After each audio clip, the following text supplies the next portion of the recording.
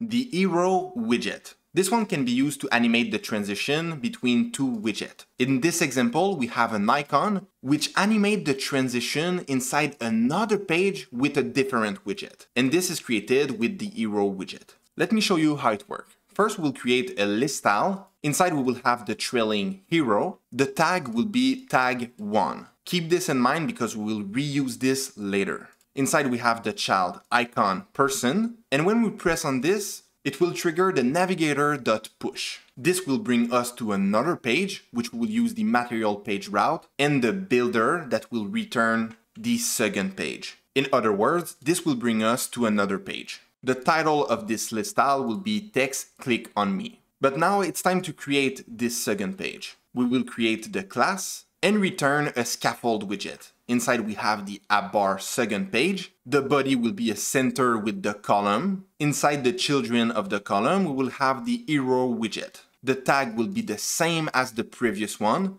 tag 1, and the child will be a container orange accent, with the height and the width 100. And just like this, when you press on the list tile, this will bring you to the other page and will animate the transition between the two widgets, the icon and the container.